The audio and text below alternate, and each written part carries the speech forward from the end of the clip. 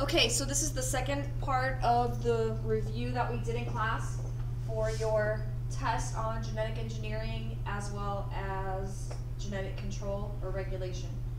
So the first question here, how do we open the plasmid? Well, obviously, we've gone over this a few times. You open a plasmid using a restriction enzyme.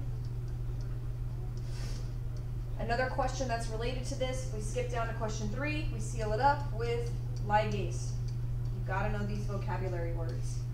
All right, number two is a little bit vague. So in class, I gave you guys a little more idea of what I was looking for here. So number one, remember that restriction enzymes can either make blunt ends or they can make sticky ends. So in this particular case, you would want a restriction enzyme that makes sticky ends. Because if it makes blunt ends, then you're not going to be able to stick the gene into the plasmid. You can still use restriction enzymes with blunt ends. For example, if all you want to do is run an electrophoresis and break DNA into pieces, you don't need sticky ends.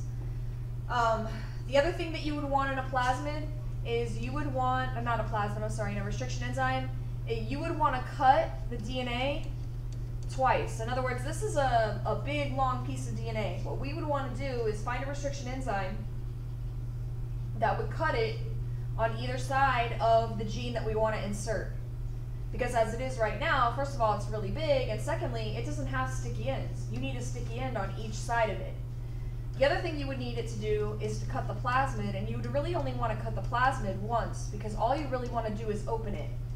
So your goal here would be to get something that looks kind of like this. Something that opens the plasmid.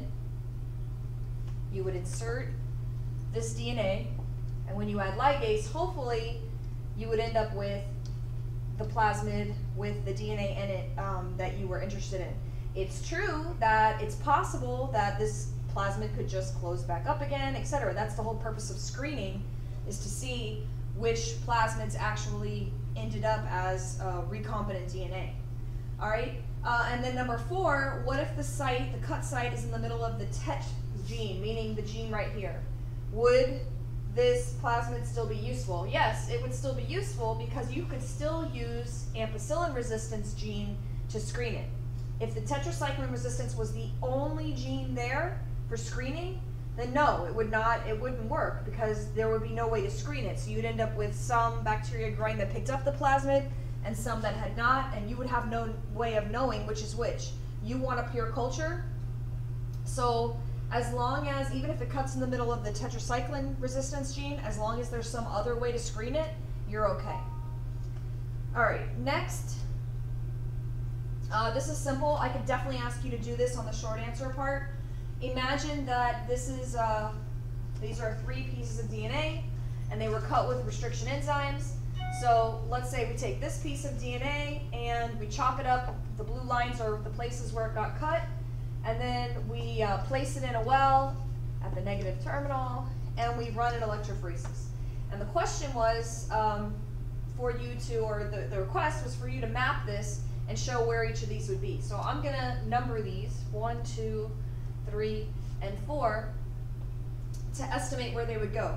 The biggest mistakes people make is they put the really light ones at the top. In other words, they start counting here with like something that's one base pair long, and down here have the one that's 100 base pairs long. That is incorrect because this is an electrophoresis. The lighter pieces travel farther. So we would expect for piece number one to be way down here. And piece number four, so this would be number one, number four should be even further along because it's even smaller. Piece number two is probably going to be, and again, this is sort of open to your judgment, but maybe back here would be piece number two. And three is a little smaller than that, so maybe you would put three here. The only thing that I would be looking for is that the shortest piece you put the furthest down, and the longest or biggest piece you put the furthest back. So that's how you would do a problem like that. This is actually um, a plasmid, and it's about plasmid mapping if it was a linear plasmid. So I'm going to do a, a quick walkthrough of this. This is sort of trial and error. They're showing you no restriction enzyme here. So that tells us that the length of our plasmid is 1,650 base pairs long. So if I draw this out and I pretend like this is my DNA, The whole DNA is 1,650 base pairs long. If I pick either one of these enzymes, I can see that SAL1 cut this DNA one time. Because it's a linear DNA, one cut would give me two pieces. One piece is 1,200 base pairs long, and the other one is 450. So based on that, I'm going to put the cut for this over here. And I'm going to mark this as SA1. And I'm going to mark that this piece is 1,200 base pairs long, and this piece is 450 base pairs long. Now, I also know it cut, the second enzyme cut it twice and gave me three bands. Um, and I know that when I put both of the enzymes together, this 450 band was left alone. So that tells me, since that band is still there, that the cuts that the other one makes must not interfere with this segment right here. The cuts must be further down. So I noticed that I have a piece that's 400 and a piece that's 200, and then I have a piece that's 1050. I also noticed that the 400 and the 200 are also not made any smaller when um, both enzymes cut. So it's a sort of trial and error, but I would suggest just giving it a shot. I know I'm going to put this one to be 400 and this is KPA1 and let's say I make this one the 200 and this is my other cut for KPA1. Actually, I don't believe it matters. You could flip-flop these. Now, if you want to double check this to make sure that it works, we know that we'd have a 400, a 200, and that basically split this 1200 up. We have a 400, a 200, a 450, and the other one that's there um, is a 600. Okay, we can double check that everything adds up, and I'm actually going to show you the one that was provided because it's a little bit neater than the mess that I made. So here's theirs. Notice theirs is sort of flip-flop from mine, but it doesn't matter as long as the numbers add up properly. So the whole thing was 1650 long. If we look at the cut for SAL1, we see that it would cut here and give us a 450 and a, what, 6, 7, 8, 9, 10, 11, a 1200. On the flip side, if we then turn around and cut it with just the other one, we would get a 400, a 200, and a 1050 from here to here.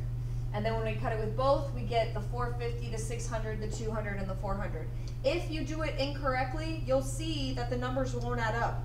You'll end up cutting it, and then when you go back and look at the electrophoresis, um, the bands will not match the cuts that you placed. Okay, uh, this is, we'll just do this one really quickly. This is a linear DNA, which piece was probably not cut at all. That would be PC. PC is all the way back here at 1,000, um, and there's only one band. If it was cut, you should have at least seen two bands.